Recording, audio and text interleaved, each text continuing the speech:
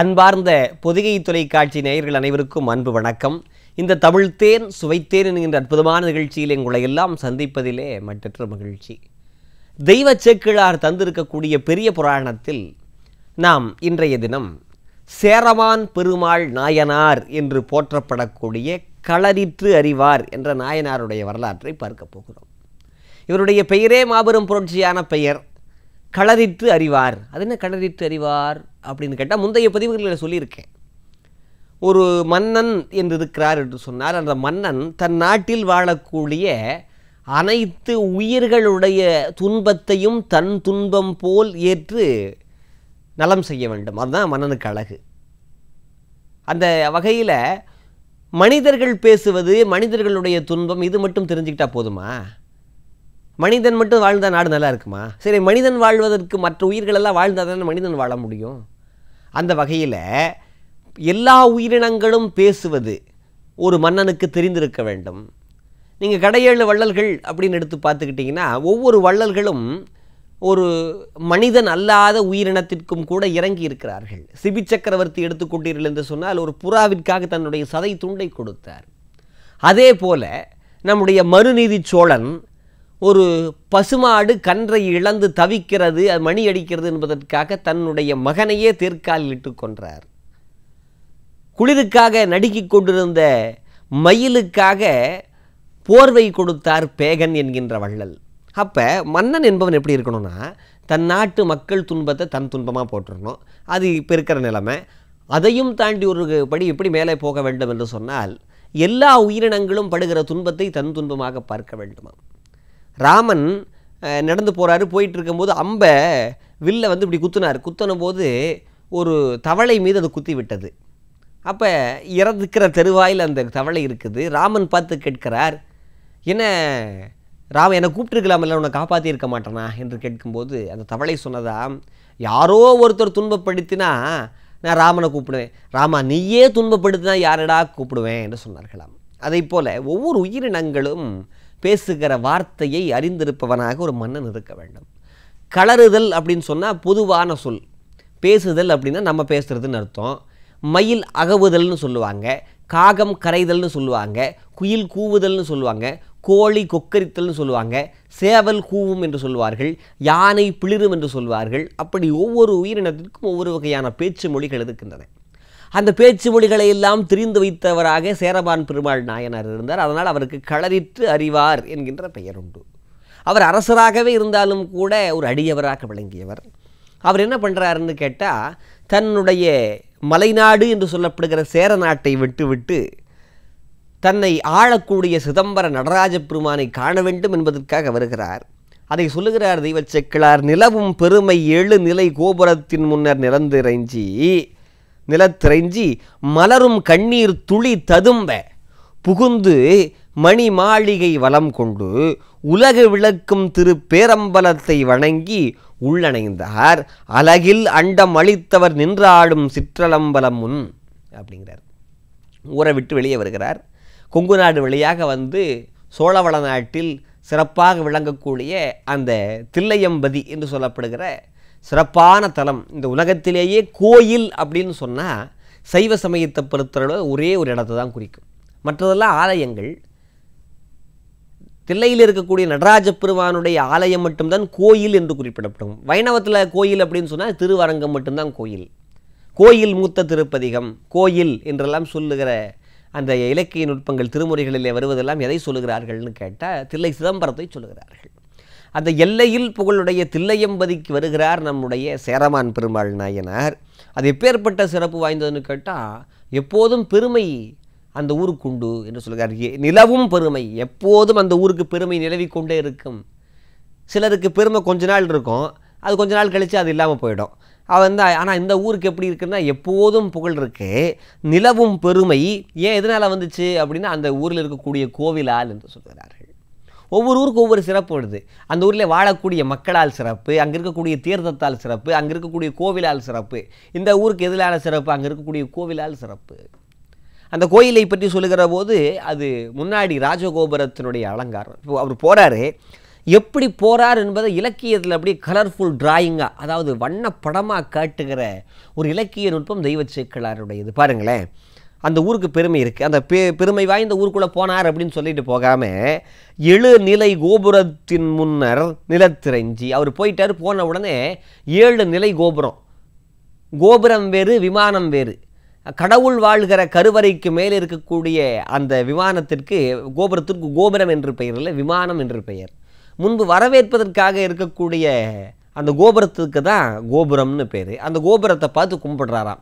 ஒரு வழிபாட்டாளர்கள் ஒரு பக்தியாளர்கள் ஒரு அடியார்கள்னா நேராக கடகடன்னு போய் சாமி கும்பிட மாட்டாங்க. என்ன பண்ணுவார்கள்னு கேட்டால் கோவிலுக்கு முன்னாடி நின்று அந்த ராஜகோபுரத்தை கைகூப்பி வணங்குவார்கள். கோபுர தரிசனம் கோடி புண்ணியம் என்று சொல்லுவார்கள். அந்த வகையில் எழு நிலை கோபுரத்தின்.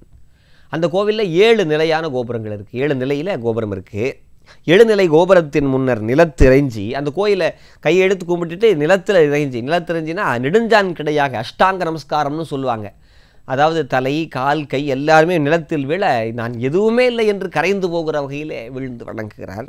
நிலத்திறைஞ்சி மலரும் கண்ணீர் துளி ததும்ப அதை பார்த்த உடனே ஆண்டவா உன்னுடைய ஆலயத்தை நான் பார்த்து விட்டேனே நான் எவ்வளவு புண்ணியம் செய்தவன் என்கின்ற ஆனந்த பெருக்கால் கண்ணீர் மல்குகிறது.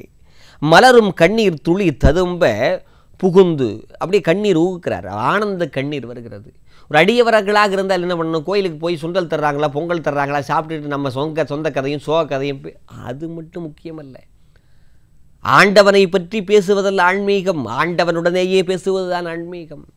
அப்படி ஆண்டவனை பார்த்தவுடன் நம் கண்கள் கரைய வேண்டும். அன்பு ஆறாக போக வேண்டும். எப்போதும் இரக்கம் அப்படி ஊற்றெடுக்க வேண்டும். அதுதான் நம்முடைய வள்ளற்பெருமான் சொல்லுகிற போது. நினைந்து நினைந்து உணர்ந்து உணர்ந்து நெகிழ்ந்து நெகிழ்ந்து அன்பே நிறைந்து நிறைந்து ஊற்றெழும் கண்ணீர் அதனால் உடம்பு நனைந்து நனைந்து அருளமுதே நன்னிதையே ஞான நடத்தரசே. என்னுரிமை நாயகனே வணைந்து வணைந்து ஏத்துதுங்கான் வம்மின். உலகியலீர் மரணமில்லா பெருவாழ்வு வாழ்ந்திடலாம் கண்டீர் அப்படின்னு சொல்லுகிற பாட்டில் கண்ணீர் அப்படியே ததும்புகிறதாக சொல்லுகிறார். நம்முடைய நற்றமிழ் வல்ல ஞானசம்பந்த பெருந்தகை சொல்லுகிற போது காதலாகி கசிந்து கண்ணீர் மல்கி அப்படின்னு சொல்லுகிறார். அப்போ அந்த கண்ணீர் மல்குதல் என்பது ரொம்ப முக்கியம். இவர் கோயிலுக்குள்ளே போனே ஆனந்த கண்ணீர் வருகிறது. ஆனந்த கண்ணீருக்கு அழுகை கண்ணீருக்கு ஒரு வித்தியாசம் இருக்குது அழுகை கண்ணீர் என்பது இந்த கண்ணினுடைய அடிப்பகுதியிலிருந்து வரும். ஆனந்த கண்ணீருங்கிறது இந்த நுனியில் இந்த ரெண்டு பக்கம் நுனியிலிருந்து தான் வருமா? அதே போல் ஆனந்த கண்ணீர் இனிக்கும் என்று சொல்லுகிறார்கள். அழு அழுகை கண்ணீர் தான் உப்பு கரிக்கும் என்று சொல்லுகிறார்கள். வந்திருந்தால் தானே தெரியும் நமக்கு. வர்றது பூராமே அழுகை கண்ணீர் இல்லை எப்படி தெரியும் உப்பு கரிக்குமா? நம்ம நம்ம கண்ணீர் பூராமே உப்பு கரிக்கிற மாதிரி தான் இருக்கும். அதனால் அவருக்கு ஆனந்த கண்ணீர் வருகிறது. மலரும் கண்ணீர் துளி ததும்ப புகுந்து மணி மாளிகை வலம் கொண்டு அந்த இறைவனுடைய திருக்கோவிலை வலப்பக்கமாக சுற்றி வருகிறார். இது ரொம்பவும் முக்கியம். இன்றைக்கி கோயிலுக்கு போகிற வேணுன்றான் பாதி பேர் இப்படி போய் சுற்றிட்டு மறுபடியும் இப்படி ஒரு சுற்றுறாங்க அதுக்கு என்ன காரணத்தால் சுற்றுகிறார்கள்னு தெரியல. நவகிரகத்தை சுற்றுறவங்க ஒன்பது முறை சுற்றணுங்கிறதுக்காக விரல ஒன்று ரெண்டு மூணு விரலை விட்டுக்கிட்டு மனசு ஒன்றுகிறதோ இல்லையோ சுற்றுறாங்க இப்போ வலப்பக்கமாக நான் ஒன்பது ஒருத்தர் ரெ- இது ரெண்டு சுற்றி இப்படி சுற்றினார் நான் எதுக்குங்க சுற்றுறீங்க அப்படின்னு கேட்டேன். இல்லை த- மறந்துட்டு பதினோரு சுற்றி சுற்றிட்டேன் அதை கழிக்கிறேன் அப்படின்னாரு. ஏன்? அதெல்லாம் தவறு. எதற்காக கோவிலை வளமாக வருவது என்று வைத்தார்கள் என்று சொன்னால் அது வந்து பாசிட்டிவ் தாட்ஸ் என்று சொல்லக்கூடிய வகையில் உடன்பாட்டு எண்ணங்கள் நேர்மறை எண்ணங்கள் வரணுங்கிறதுக்காக. ஒரு கடிகாரம் வலப்பக்கமாக தான் சுற்றும் அதே போல் டைனமோ வலப்பக்கமாக தான் சுற்றும் ஒரு கொடி இருக்குது அந்த கொடி மரத்தை பற்றிக்கிட்டு வருதுன்னு வச்சுங்களேன் அப்படியே மேலே படர்ந்து வருதுன்னா அது வலப்பக்கமாக தான் சுற்றி வரும். இடது பக்கமாக சுற்றி வராது. ஏன்னா உலகம் வலப்பக்கமாக சுற்றுகிறது. எப்படி சார் உலகம் வலப்பக்கமாக சுற்று நீங்கள் பார்த்தீங்களா சார்? அப்படின்னு நீங்கள் கேட்கலாம். உண்மையிலேயே வல உலகம் வலப்பக்கமாக சுற்றுகிறது என்பதற்கு ஆதாரம் தமிழ் இலக்கியத்திலே முதலாவதாக விளங்கக்கூடிய திருமுருகாற்றுப்படையிலேயே சார்ந்திருக்கிறது. உலகம் உவப்ப வலன் ஏர்பு திரிதரு பலர்புகள் ஞாயிறு கடற்கண்டு ஆங்கு அப்படின்னு தொடங்குது. ஆக உலகம் வலப்பக்கமாக வலன் ஏர்பு திரிதரு என்று நக்கீரர் ஈராயிரம் ஆண்டுகளுக்கு முன்பாகவே சொல்லிவிட்டு போய்விட்டார். அப்போ இவர் என்ன செய்கிறார்? வலப்பக்கமாக சுற்றி வருகிறார். வலம் கொண்டு உலகு விளக்கும் திருப்பேரம் வலத்தை வழங்கி இந்த உலகத்தையே விளக்கம் காண்பதற்காக இந்த உலகம் நல்லா இருக்கணும் அப்படின்னு சொன்னால் அதுக்கு ஒரு இடம் இருக்கணுமா இல்லையா? அதுக்காக இருக்கக்கூடிய பேரம்பலத்தை வணங்கி இப்போ இந்திய நாடு அப்படின்னா இந்திய நாட்டினுடைய மாபெரும் ஒரு இதய கமலம் அப்படின்னு சொன்னால் எதை சொல்லலாம்? டெல்லியை சொல்லலாம். தலைநகரம் தான் அதை தான் நம்ம இந்த இந்தியாவை இயக்குகிறது. அதே போல் தமிழகத்தை இயக்குகிற ஒரு அன்னை மாநகரம்னா சென்னை மாநகரத்தை சொல்லலாம். அதை போல் இந்த உலகத்தையே இயக்கக்கூடிய ஒரு ஆன்மீக தலைநகரம் இருக்கும் என்று சொன்னால் அது எது என்று கேட்டால் தில்லை சிதம்பரம் தான். உலகு விளக்கும் திரு பேரம்பலத்தை வணங்கி பேரம்பலம்னா இறைவன் ஆளக்கூடிய மேடையை வணங்கி உள்ளணைந்தார். உள்ளுக்குள்ளே போகிறார் கும்பிட்டுட்டே உள்ளே போறார். உள்ளணைந்தார். அழகில் அண்டம் அளித்தவர் நின்றாடும் சிற்றம்பலமுன். அழகில்லாத அவருக்கு அழகுனா இதுக்குள்ளே அடக்க முடியும்னு சொல்ல முடியாது. இப்போ தண்ணியை முகத்தல் அளவை என்கின்ற அளவையின் மூலமாக அளவிடுவார்கள். துணியை நீட்டல் அளவை என்கின்ற அடை அந்த அளவின் மூலமாக அழகிடுவார்கள். அதே போல் ஒரு திடப்பொருள் அப்படின்னு சொன்னால் அதை எடை போட்டு நிர்ணயம் செய்வார்கள். ஆண்டவனை எந்த அழகுக்குள் அடக்க முடியும்? அதனால தான் அழகில் சோதியன் அப்படின்னு சொன்னார்கள். இஸ்லாமிய சமயத்திலும் கூட அவர் யாரென்று சொல்ல முடியாது என்ற காரணத்திற்காகத்தான் திசையை நோக்கி வணங்குங்கள் என்று அவர் நி- அளவிலாத அன்புடையவன் நிகரற்ற அன்புடையவன் என்று சொல்லுகிற வகையில் இஸ்லாமிய சமயம் போற்றுகிறது. அப்போ அருளாற்றல் என்பது எல்லா பக்கம் இருக்கும். அதை போல இந்த பேரம்பலமானது எப்படி இருக்கிறது என்று கேட்டால் அழகிலாத சிறப்புடையது. அழகில் அண்டம் அளித்தவர். இந்த அண்டத்தையே அண்டம்னா உலகம் அல்ல. உலகம் மாதிரி பதினான்கு உலகங்கள் இருக்கின்றன என்று சொல்லுகிறார்கள்.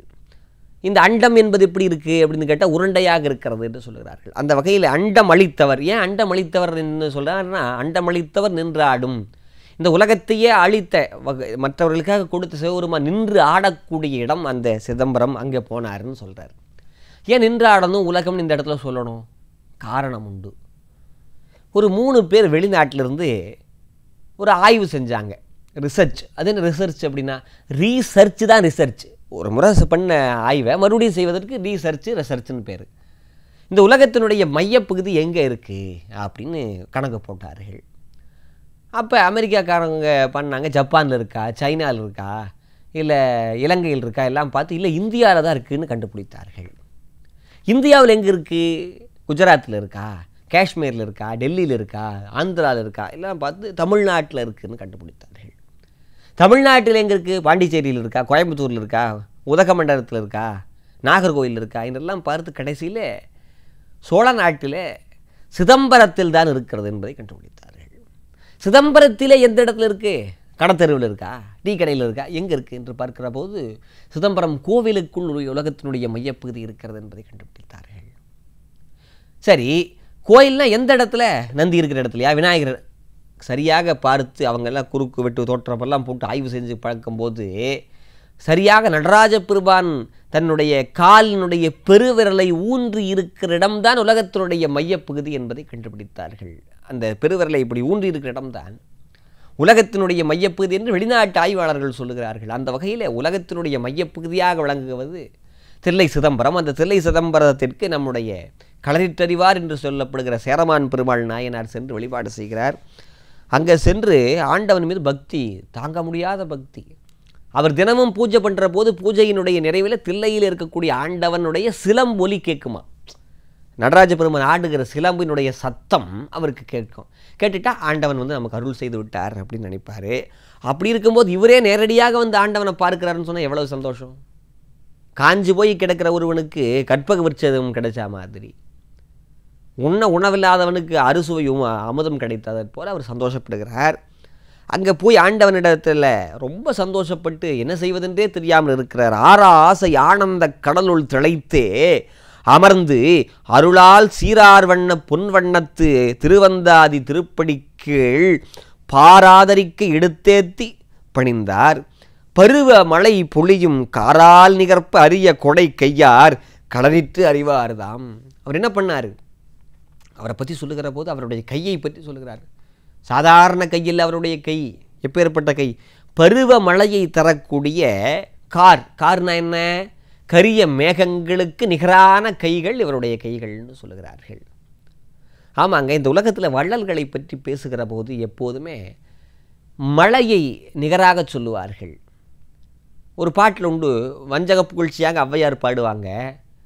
நீங்கள் பாரி பாரின்னு பாரிங்கிற மன்னனை மட்டுமே பெருசாக சொல்லாதீங்க. பாரி தான் பெரிய ஆளா பாரி பாரி என்று பலரேத்தி அப்படின்னு ஒரு பாட்டு. நீங்கள் பாரி பாரின்னு பாரி மட்டுமே கூடாதீர்கள் பாரி மட்டுமே வள்ளல் அல்ல. இந்த நாட்டிலே மாரியும் உண்டு. மாறினா என்ன? மழை இருக்கிறது என்று சொல்லுகிறார்கள். அப்போ மழைக்கு இணையாக வழங்கக்கூடிய ஒரு வள்ளன்மையிலே சிறந்து விளக்கியவன் பாரி என்று சொல்வதற்காக அப்படி சொல்லுகிறார்கள். அந்த பாரியைப் போல நமக்கெல்லாம் ஆதரிக்கக்கூடிய வள்ளலாக விளங்கியவர் யாருன்னு கேட்டால் அந்த களரி தெரிவார் என்கின்ற சொல்லப்படுகிற சேரமான் பெருமாள் நாயனார். அவர் கொடுத்த க- மற்றவர்களுக்கு கொடுக்கக்கூடிய க அந்த வள்ளன்மை திறம் மிக்கவர். அவர் சிதம்பரத்துக்கு போன உடனே ஆறா ஆசை ஆனந்த கடலுள் திளைத்து. ஆறாத ஆசை என்றைக்கும் தீராத ஆசை இருக்குது அந்த ஆசை கடலில் அந்த ஆனந்த கடலுக்கு அப்படியே மூழ்கிக்கிட்டார். மூழ்கி அமர்ந்து அருளால் அங்கே கோயிலில் அம் அமர்ந்து விட்டார். அருளால் சீரார் வண்ண பொன் வண்ணத்து அந்தாதி அழகான வண்ணங்களை வைத்து பொன் வண்ணத்து அந்தாதி என்கின்ற ஒரு அந்தாதி வகையை பாடுறார். தொண்ணூத்தாறு வகையான சிற்றிலக்கியங்கள் அந்தாதி என்பது ஒன்று. அதில் பொன் வண்ணத்தந்தாதி சிறப்பு வாய்ந்த ஒரு அந்தாதியாக இருக்கிறது. நம்முடைய காரைக்கால் அம்மையார் பாடிய திரு அந்தாதி ஆகட்டும் அதே போல் இங்கே இருக்கக்கூடிய திரு அந்தாதி ஆகட்டும் மிகவும் காலத்தால் பழமையானவை என்று குறிப்பிடப்படுகின்றன. பொன்வண்ண தந்தாதி திருப்படி கீழ் பாராதரிக்க இந்த உலகத்தவர்கள் அனைவரும் போற்றுகிற வகையில் பாடினார்கள். அந்த பாட்டினுடைய ஒரு பாடலை மட்டும் உங்களுக்கு சொல்கிறேன். அந்த பொன்வண்ண தந்தாதி பொன்வண்ணம்னே தொடங்கும். பாருங்களேன். பொன்வண்ணம் மெவ்வண்ணம் அவ்வண்ணம் மேனி பொலிந்து இலங்கும். மின்வண்ணம் எவ்வண்ணம் அவ்வண்ணம் வீழ்சடை வெள்ளி குன்றம். தன்வண்ணம் எவ்வண்ணம் அவ்வண்ணம் மால்விடை தனை கண்ட என் வண்ணம் எவ்வண்ணம் அவ்வண்ணம் ஆகிய ஈசனுக்கே அப்படின்னு எத்தனை வண்ண வண்ணங்களாக பாடுகிறார். அப்படி இந்த வண்ண பொன்வண்ண தந்தாது என்கின்ற ஒன்று அருமையான பணுவலை அங்கே பாடியருளுகிறார் அதற்கு பிறகு பாடிய முடித்ததுக்கு பிறகு அவருக்கு சிலம்பு ஒலி கேட்கிறது. ஏன்னா அவர் வந்து தினமும் வழிபாடு முடிச்ச உடனே சிலம்பொலி கேட்டு தான் சந்தோஷப்படுவார். அதே மாதிரி சிலம்புனுடைய ஓசை கேட்கிறது சிலம்பொலி கேட்கிறது. அங்கே வழிபாடு முடிச்சுட்டு சரி நம்ம திருவாரூருக்கு போகலாம் எதற்காக திருவாரூருக்கு போகணும்? திருவாரூரில் தான் சுந்தரர் வாழ்கிறார். சுந்தரருடைய நட்பு இவருக்கு வேணும். நல்லவர்களுடைய நட்பு எப்போதும் தேவை. இவர் எதுக்காக இங்கே வந்தாருன்னு கேட்டால் சோழ நாட்டுக்கு சுந்தரருடைய நட்பு வேணுங்கிறக்காக இன்னும் ஆண்டவனையும் பார்க்கணும் தம்பிரானையும் பார்க்கணும் தம்பிரானுடைய தோழரையும் பார்க்கணுங்கிறக்காக வர்றாரு. நல்ல நட்பு தாங்க ரொம்ப முக்கியம். நட்பு நல்ல ஒரு நல்ல நண்பனாக அமைந்து விட்டால் வாழ்க்கையில் நல்லா இருக்கலாம். ஒரு பழமொழியும் கூட உண்டு. உன் நண்பனை யா- உன் நண்பன் யார் என்று சொல் உன்னை பற்றி நான் சொல்கிறேன் என்று. ஒரு நல்ல நண்பர்கள் கிடைத்து விட்டார்கள் என்று சொன்னால் வாழ்க்கையில் அதை விட சிறப்பான ஒன்று எதுவுமே இருக்காது. நண்பன்னா எப்படி இருக்கணும்? நமக்கு துன்பம் வருகிற நேரத்தில் உதவுவனாக இருக்கணும். இன்பம் வருகிற நேரத்தில் இவ்வளவு இன்பம் ஆகாதுடா. இன்பத்தில் மட்டுமே பங்கிடுபவனாக ம- ஒரு நண்பன் இருக்கக்கூடாது. துன்பத்தின் போது தோல் கொடுப்பவனாக இருக்க வேண்டும். திருவள்ளுவர் சொல்கிறார் உடுக்கை இழந்தவன் கை போல் ஆங்கே இடுக்கண் களைவதாம் நட்பு. அதாவது மானத்தை மறைத்து கொண்டிருக்கிற துணி விலகுது. விலகிற நேரத்தில் அணிச்சியாகவே யாருடைய தூண்டுதலும் இல்லாமல் கை போய் அந்த இடத்த மானம் போகாமல் பாதுகாத்து துணியை விலக்கி அந்த இடத்துல சரியாக பாதுகாக்கும். அதை போல ஒரு நண்பன் இருக்க வேண்டும் நட்பு இருக்க வேண்டும் என்று திருக்குறள் சொல்லுகிறது. அப்போ நல்ல நட்பு வேண்டும்னு போகிறாரு ஏன்? நட்பு தான் ரொம்ப தேவைன்னு என்பதை சொல்லுகிற போது நம்முடைய யாருடைய கூட்டு வேண்டும் என்று அபிராமிட்டர் பாடுகிற போது சொல்லுகிறார் அன்பும் உதவி பெரிய தொண்டரோடு கூட்டு அப்படின்னு பதினாறு வகை செல்வங்கள் ஒன்றாக சொல்லுகிற நல்லவர்களுடைய அந்த கூட்டு நல்ல நட்பு என்பது பதினாறு வகை செல்வங்கள் ஒன்று. அதுவும் பதினாறாவது செல்வமாக சொல்கிறார் கலையாத கல்வியும் குறையாத வயதும் ஒரு கவடு வாராத நட்பும் கன்றாத வளமையும் குன்றாத இளமையும் கழு பிணி இல்லாத உடலும் சலியாத மனமன் பகலாத மனைவியும் தவறாத சந்தானமும் தாழாத கீர்த்தியும் மாறாத வார்த்தையும் தடைகள் வாராத கொடையும் துறையாத நிதியமும் கோணாத கோலும் ஒரு துன்பம் இல்லாத வாழ்வும் துய்ய நின் பாதத்தில் அன்பும் உதவி பெரிய தொண்டரோடு கூட்டு கண்டாய். அதாவது அன்பும் உதவி பெரிய தொண்டரோடு கூட்டு என்று பதினாறாவது செல்வத்தை சொல்லுகிறார். அதுதான் நிறைவான செல்வம். ஒன்றும் இல்லை ராமாயணத்தில் நல்ல நண்பர்கள் கிடைத்ததன் காரணமாகத்தானே ராமன் வந்து ஒரு வெற்றியாளனாக மாற முடிந்தது. உறவுகளால் இழந்ததை நட்புகளால் மீட்ட கதை தானே ராமாயண கதை. ஆக நல்ல நட்பு வேண்டும் என்பதற்காக போகிறார். சிதம்பரத்தில் வழிபாடு செய்துவிட்டு திருவாரூருக்கு போகலாம் என்று நினைக்கிறார். அப்படி போகிற வழியில் சுந்தரரும் எல்லா பக்கம் போயிட்டு வர்றார். அவரும் திருவாரூருக்கு வந்துட்டார். அங்கே திருவாரூருக்கு போய் திருவாரூர் மும்மணி கோவை என்கின்ற நூலை பாடுகிறார். பாடி முடிச்சுட்டு இறைவனை வழிபாடு செய்து விடுகிறார். அப்புறம் சுந்தரரும் நம்முடைய சேரபான் பெருமாள் நாயனாரும் ஒருவரோடு சந்தித்து கொடுக்கிறார்கள் இவருடைய வீட்டுக்கு அவர் அழைச்சிட்டு போகிறார். அழைச்சிட்டு போன உடனே அவங்க வீட்டில் இருக்கக்கூடிய பறவை நாச்சியார் அவருக்கு முறையாக விருந்து உபசாரமெல்லாம் செய்து மரியாதை செய்கிறார். சோதி மணி மாளிகையின் கண் சுடரும் பசும்பொற்கால் அமளி மீது பெரும் ஆடை இருத்தி நம்பி மேவி உடனிருப்ப கோதில் குணத்து பறவையார் குழுனர்க்கும் தோழர்க்கும் நீதி வலுவா ஒழுக்கத்து நிறை பூசணிகள் முறையளித்தார். இவர் வந்த உடனே என்ன பண்ணாங்களாம்? தங்கத்தால் ஆன அருமையான ஒரு பலகையின் மீது பொட் அந்த பட்டாடை நல்ல அருமையான பட்டாடையை விரித்து அதன் மேலே இவரையும் தன்னுடைய கணவனாரி அமர வைத்து அவர்களுக்கு பூசணைகள் செய்கிறார்கள். எங்கள் வீட்டுக்கு வந்த ஒரு விருந்தாளிக்கு எதுக்குங்க பூஜை பண்ணுறது விருந்தாளியாக இருந்தால் பூஜை பண்ணலாம். இவர் விருந்தாளி மட்டுமா? சிறந்த அடியவர் இல்லையா? அடியவர் மட்டும் இல்லை அரசரும் கூட இல்லையா?